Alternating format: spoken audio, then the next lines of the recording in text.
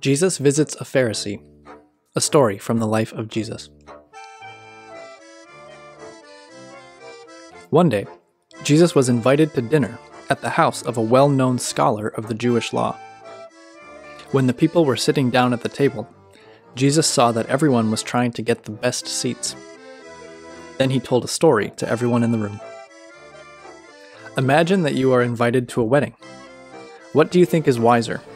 To sit in the best seats or the ones that are not as good? Imagine that you take a good seat that was reserved for someone who knows the bride better than you do. Then the groom, in front of everyone, would have to send you to another seat. Wouldn't that be embarrassing? On the other hand, imagine you sit in a bad seat and the bride knows you well. Then the groom would come to you in front of everyone and ask you to sit closer to him, and you would be honored.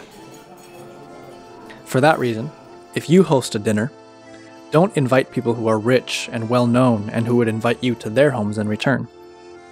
Instead, invite the people who are poor or sick, people who are blind or homeless or foreign, people who will not be able to repay you for your hospitality. All they will be able to give you is their gratitude. One thing I can tell you for certain God will not forget what you did, and He will reward you.